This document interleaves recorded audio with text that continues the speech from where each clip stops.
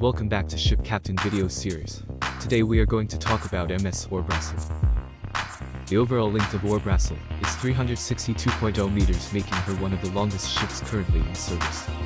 The breadth and depth of her hull are 65.0 meters and 30.4 meters, respectively, giving her gross tonnage of 198,980. Ore Brasil has 7 cargo holds with a combined gross volume of 219,980 cubic meters and net tonnage of 67,993. Her deadweight tonnage is 402,347 tons. When carrying a full load of iron ore, equal to around 11,150 trucks, her draft is 23 meters.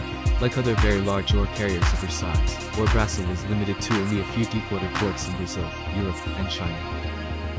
Ore Brasil is propelled by a single-man BN W7S80 MECA two-stroke low-speed diesel engine directly coupled to a fixed-pitch propeller.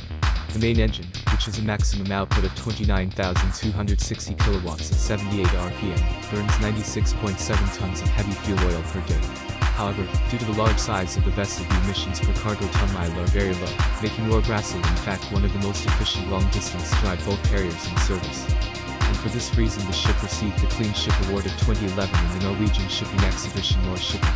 Vale has reported 35% drop in emissions per ton of cargo in comparison to older ships.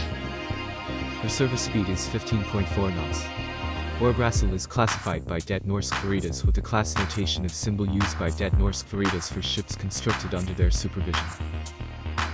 Ore Brasil is considerably larger than the previous record holder, Berge Stahl, in every respect. Both gross tonnage and deadweight tonnage are larger than those of the Norwegian ship, 175,720 and 364,767 tons, respectively. While the draft of both ships is the same, Ore Brasil is also 20 meters longer and 1.5 meters wider than Berge Stahl.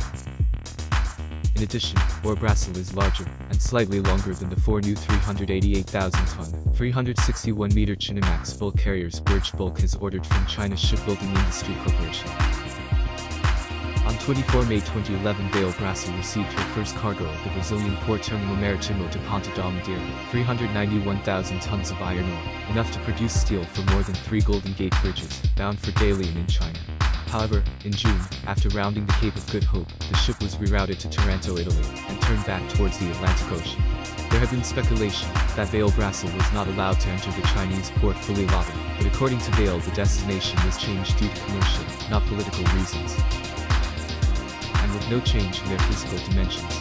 Thus these same vessels regained their ability to re-enter the same ports they were previously declared too large to enter. Subsequently the Chinese government banned all ships over 300,000 DWT, effectively banning the Valemax ships from entering Chinese ports.